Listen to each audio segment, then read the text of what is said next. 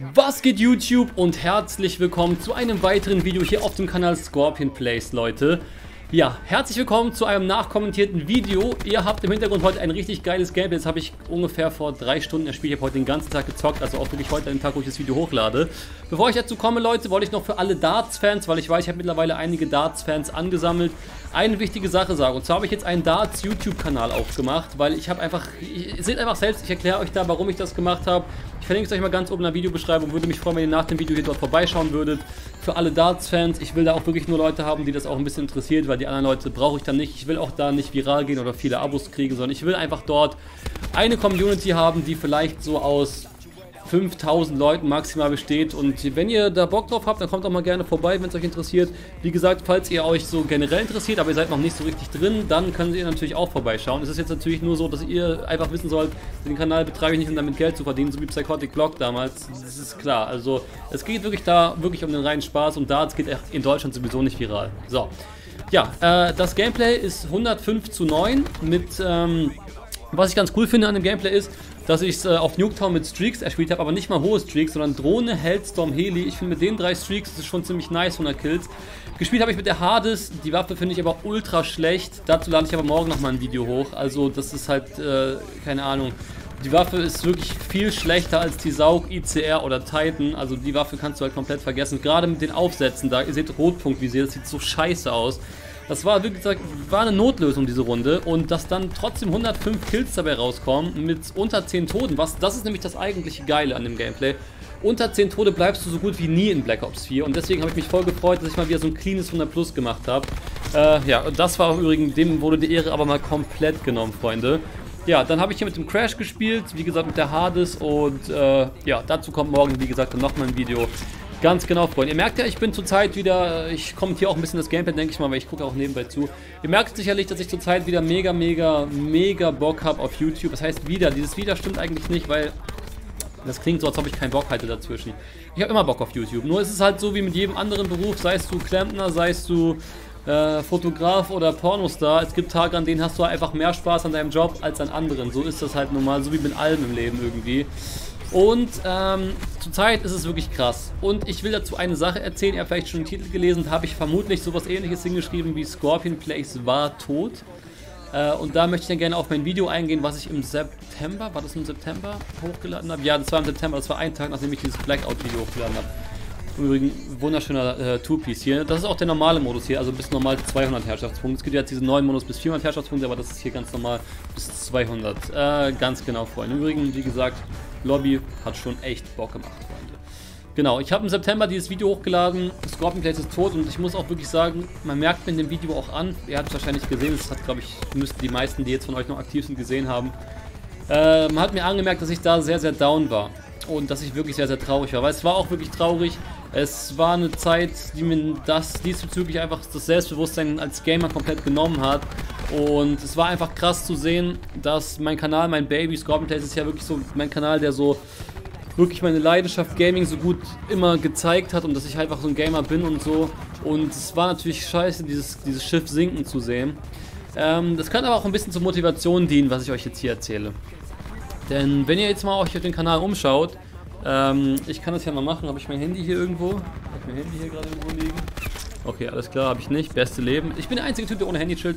Also wenn ihr euch auf dem Kanal, ich kann es aus dem Kopf ungefähr sagen, mal umschaut, werdet ihr sehen, die letzten Videos haben so um die 150.000 Aufrufe eigentlich alle, bis auf vielleicht zwei, drei, die haben dann 200.000, dann gibt es eins, das hat 130.000, irgendwie so in der Art.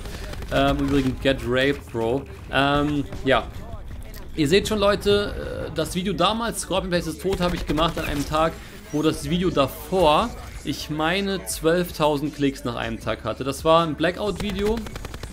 Blackout ist für mich auch nicht das gleiche wie COD, da komme ich gleich zu, äh, weil es könnten ja sonst einige sagen, wenn ich äh, gleich auf den Punkt komme, dass COD mir geholfen hat, könnten natürlich einige dann sagen, aha, aber Blackout war doch COD. Das war auf jeden Fall ein Blackout-Video und es war wirklich sehr, sehr schwach angekommen. Und meine Fortnite-Videos davor hatten immer so naja, wenn es mal ein Kracher war, auch so 100.000 Klicks. Aber es gab halt auch wirklich Videos, die hatten so 40.000 Aufrufe. Und ähm, das hat mich dann damals dazu gebracht, zu sagen, Scorpion Place ist tot.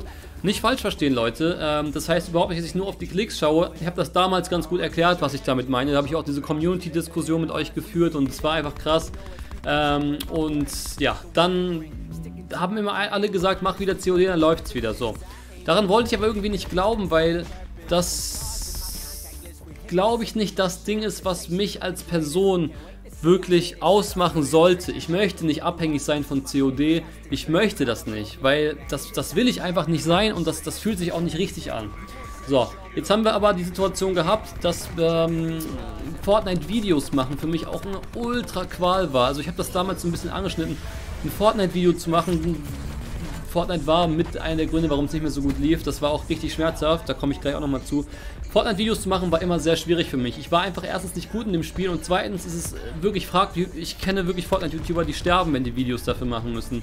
Ähm, weil du einfach in diesem Business, Fortnite, das ist jetzt, das ist wirklich krass, wenn du da Zweiter wirst mit 13 Kills, ich hatte so ein paar Runden, dann wollte man die nicht hochladen, weil du willst die Runden gewinnen, verdammte Scheiße. Und ich finde das so krass, wenn du bei COD mal ein paar Tode kriegst, am Ende kriege ich auch noch zwei, drei unnötige Tode, ey, dann hast du trotzdem deine 100 Kills gemacht und du brauchst es ja nicht am Ende, diesen Win. Aber bei Fortnite-Videos brauchtest du ihn und das ist einfach, teilweise bin ich wirklich an einem Tag 60, 70 Mal am Stück Tilted gedroppt, weil ich ja auch viele Kills machen wollte, ihr kennt meinen Ehrgeiz. 60 Mal am Stück gestorben, deswegen hatte ich auch die schlechteste, ich hatte nicht mal eine 1% Winrate, ich hatte glaube ich 0,8% oder die schlechteste Winrate der Welt, weil ich immer direkt reingegangen bin, gestorben wieder neu und wirklich, ich bin durchgedreht bei den Videos. Und wenn ich dann mein Video geschafft hatte, hatte ich die mega Glücksgefühle, wollte, dass es so viele Leute wie es geht sehen und dann hat es wenig Leute interessiert und dieser Teufelskreis hat mich natürlich immer wieder demotiviert und so weiter und so fort und das war dann so der Punkt, an dem ich das dann gesagt habe. Scorpion Plays war nämlich nicht nur von den Klicks tot, jetzt äh, schließt sich der Kreis, das sage ich in jedem nachkommentierten Video irgendwie. Es war nicht nur von den Klicks tot, sondern das Video machen war auch nicht mehr so, wie ich es geliebt habe. Und das ist jetzt wieder total zurück. Ihr merkt es auf meinem Kanal. Äh, die Leidenschaft ist da. Ich habe jeden Tag eine neue, coole Idee und kann euch jeden Tag ein cooles neues Video liefern. Und es läuft automatisch, weil die Leute sich auch einfach darüber freuen, dass es, dass es so ist. Und ist COD der einzige Grund? Ich würde es nicht sagen. Ich würde einfach sagen, COD ermöglicht mir, die Videos so zu machen, wie ich sie am liebsten mag.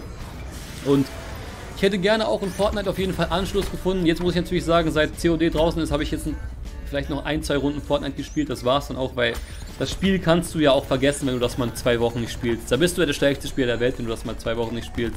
Muss man ganz ehrlich sagen. Also das ist ja wirklich krass. Fortnite verlernst du wirklich, also Fortnite ist nicht wie Fahrradfahren. COD ist wie Fahrradfahren, finde ich. Klar, war ich auch nie so wirklich gut, aber mich da jetzt hinzusetzen, ihr kennt mich, ich will nie schlecht in irgendwas sein, das quält dann. Was ich euch aber sagen will, ist, was ich damals auch schon gesagt habe, ich habe das Video gemacht, Robin Days ist tot und jeder andere YouTuber hätte sich dann eine Pause genommen und hätte dann gesagt, ach, ich fange dann in einem halben Jahr wieder an, dann läuft es. Aber so bin ich nicht. Und das ist vielleicht auch der Punkt, den ihr vielleicht mitnehmen könnt. Ich habe ja vor ein paar Tagen schon mal so ein kleines Motivationsvideo hochgeladen. Da kommt jetzt direkt noch eins. Und zwar, Freunde, ohne Scheiß, ihr habt es gesehen, ich habe den Kanal wieder aufgebaut und zwar, weil die Liebe dafür so groß war und gebt einfach nicht auf bei sowas. Ihr schafft es wieder hoch. Wenn ihr, wenn ihr mal ein Tief habt, dann ist das so. Das habe ich wirklich auch gedacht und ich bin deswegen so stolz, weil das Mindset hat funktioniert. Ich habe mir in der Sekunde gedacht, du hast jetzt gerade dieses Tief, da kommst du wieder raus. Und ich habe es dann wirklich geschafft, so da wieder rauszukommen. Und dafür bin ich einfach mega dankbar und dafür wollte ich mich natürlich, was ein ganz, ganz wichtiger Punkt in diesem Video ist, wollte ich mich natürlich auch bei euch bedanken. Weil ohne euch wäre das natürlich auch nicht mal ansatzweise möglich gewesen. Ihr habt mich bei COD wieder so krass supportet, wie ich das von euch gewohnt war und ihr übertrefft es jeden Tag selbst und äh, lasst doch einfach mal ein Like für euch selbst da, das habe ich neulich in dem Video gehört. Dachte erst, das wäre so der übelste, der übelste Move, um Likes zu kriegen, aber da Likes für den YouTube-Algorithmus sowieso nichts bringen, äh, wäre es natürlich cool, wenn ihr einfach mal eins raushauen würdet, wenn, wenn ihr es mir gönnen würdet, ja. Äh, wie gesagt, es ist krass, Scorpion ist jetzt mega aktiv und ich bin so dankbar. Klar, auch wenn dieses Video diese Klicks nicht erreichen sollte, ist es mir auch scheißegal so. Es ist einfach krass, dass es allein dieses Interesse wieder da ist an dieser ganzen Materie und wir ganzen COD-YouTuber, wir freuen uns natürlich mega, dass Black Ops 4 so gut bei euch ankommt, dass ihr euch das Spiel so gerne reinzieht. Klar schreiben auch einige hin und wieder mal, ich gucke dich, obwohl ich kein Black Ops äh, spiele oder so und das ist natürlich auch cool. Das freue ich mich natürlich besonders drüber, ähm, weil ich ja immer dachte, dass dafür der Hauptkanal wäre, aber wenn jemand das auch hier so empfinden kann, finde ich das richtig nice und das freut mich natürlich sehr. Und äh, ja, ganz genau sieht es aus, Freunde. Ich ähm, freue mich extrem, da, dass wir diesen Kanal wieder so aufgebaut haben, wie wir es jetzt geschafft haben gemeinsam. Und Bleibt an euren Zielen dran, das ist ganz wichtig. Ähm, genau wie ich an diesem Gameplay hier. Ich wollte unbedingt dieses 100 Plus und dann habe ich es geschafft. Ich meine, ich habe jetzt nicht ultra lange drauf gespielt, aber ich denke mal, es ist ein ganz chilliges Gameplay eigentlich geworden. Ganz genau, Leute. Also vielen Dank an euch. Ich hoffe, euch gefällt die Zeit derzeit auch auf Scorpion Plays. Ich hoffe, das Ganze macht euch Spaß, so wie es gerade läuft, so wie der Hase.